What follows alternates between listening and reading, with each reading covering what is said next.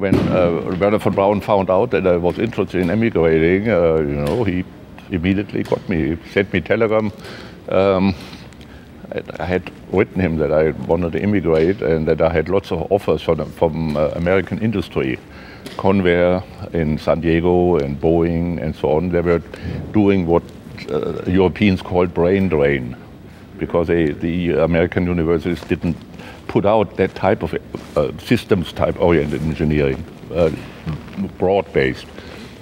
And so I wrote him, hey, I would like to immigrate, but I better go to industry first to learn the ropes because I'm a greenhorn. Yeah, this was straight out of Aachen? Yes, straight out of Aachen. And, and so I get this telegram from, from von Braun, which says, don't go to industry, come to Huntsville, we are going to the moon, Werner von Braun. And this was, you know, just crazy. I heard Archangel Gabriel blow his horn up there, took two suitcases and came over, and uh, no immigration problems. Uh, I was under a DX rating. Uh, that was Kennedy's way of establishing priority for Apollo. So you didn't, didn't have to wait for quota type things and uh, had to go through CIC investigations, counterintelligence corps, uh, lie detector, polygraph, and all of that. But apparently I came through, and, uh, and so I arrived here in Huntsville in August 62. Next year in August, it's 50 years. So, so you became a member of, of Werner von Braun's rocket team? Uh, right away. Uh, but, but really, it's uh, second wave because um, the original members came over with him in 47, 46, 47 uh, 120 of them, and uh, uh, under the auspices of the army. So they wound up in, at Fort Bliss, Texas, White Sands, New Mexico, where they were firing some leftover V2s and uh, developed for the army a missile capability. Uh, it was really um, medium range type missiles. The army wasn't supposed to do intercontinental ones, it was Air Force.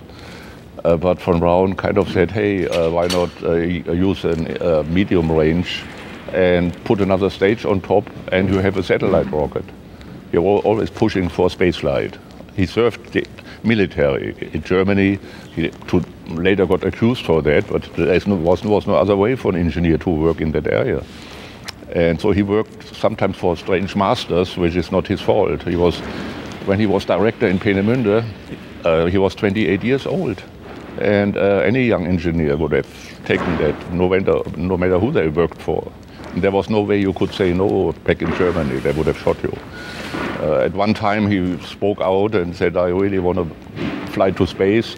So the Gestapo put him into jail. And uh, his um, superiors had to get him out before they killed him uh, by going all the way up to the top to uh, Speer the uh, armament minister and said, You can't kill this man, we need him so that uh, he came back. But today there are lots of people who are writing uh, history type books uh, which uh, paint von Braun in a strange light sometimes, you know, like he was the devil's advocate and so on, uh, which is really not true. Uh, he, he had this child in him all the way to the end, which made him believe in in spaceflight, uh, really innocent in a lot of ways, and uh, as innocent people sometimes do, they stumble into strange situations, um, like with the Nazis, uh, without really uh, realizing what was going on.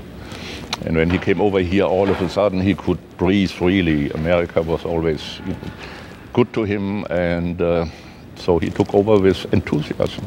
And then when uh, Kennedy uh, was dismayed by Sputnik, which was really still Eisenhower, the Eisenhower time in 57, uh, the army put up the Explorer 1 on a von Braun rocket, on a Redstone, in 58, January 58, which was also still Eisenhower time and no NASA around.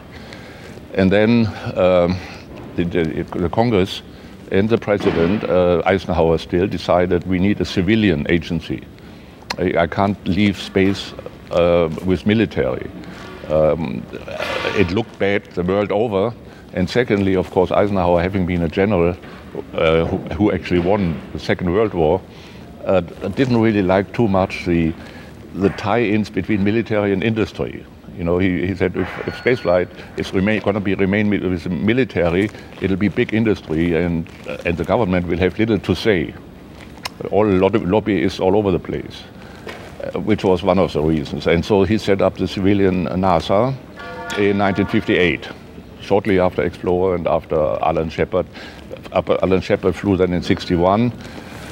And Gagarin was the second big shock, uh, Yuri Gagarin, in uh, April 1961, uh, which uh, upset, of course, the, uh, Eisenhower's successor, um, who was John F. Kennedy. And Kennedy knew he had got to do something, and Alan Shepard's flight, which was a suborbital 15 minute ride, uh, gave Kennedy kind of assurance that the rocket guys know what they're doing. So he gave the order, uh, he told his Vice President Johnson and others to come up with a plan how to beat the Russians peacefully. And so uh, they asked von Braun, uh, it came down from James Webb, who was NASA administrator, and von Braun wrote a famous memo, which is fully available on the internet, 10 points. Uh, we could do this, we could do that, we could do that, we could do that. And it was, you know, like building a satellite. Oh no, the Russians have it already.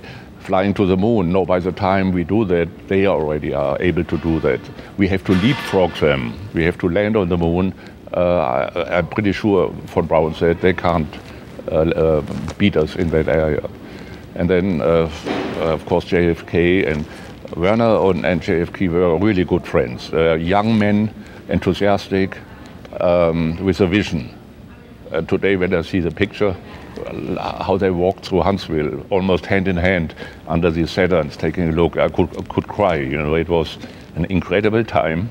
These two young men with hopes for the future, having the uh, total the nation at, her, at, at, their heart, a concern for the nation, uh, and having visions, very strong visions about it.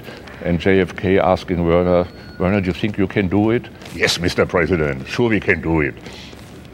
And then Werner often came home to here in Huntsville, flying down from Washington, and say, "Hey guys, I'm way out on a limb. you have to bail me out. Don't let me hang there, twisting slowly in the wind." And that's how he motivated the engineering teams. And so uh, when I joined the team in August '62, uh, I knew I had found, found my future home. It, it was hard work, uh, but uh, so much fun that I'm still with it today.